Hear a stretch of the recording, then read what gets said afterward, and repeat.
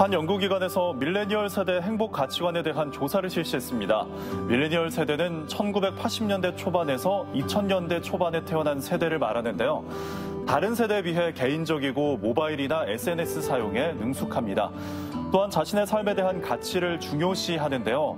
이들은 학업이나 직장 생활을 잠시 중단하고 자신만의 시간과 다양한 경험을 위한 개비어를 추구하기 시작했습니다.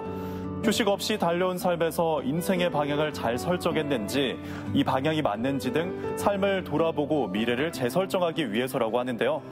각박한 삶에서 벗어나 몸과 마음의 여유를 갖기 위해 조용한 지방이나 농어촌으로 옮겨가는 고지방의 방식도 선호합니다.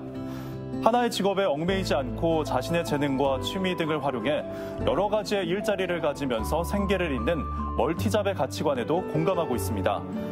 현재 자신의 행복을 가장 중시하고 소비하는 태도인 욜로와 비슷한 스주쾌.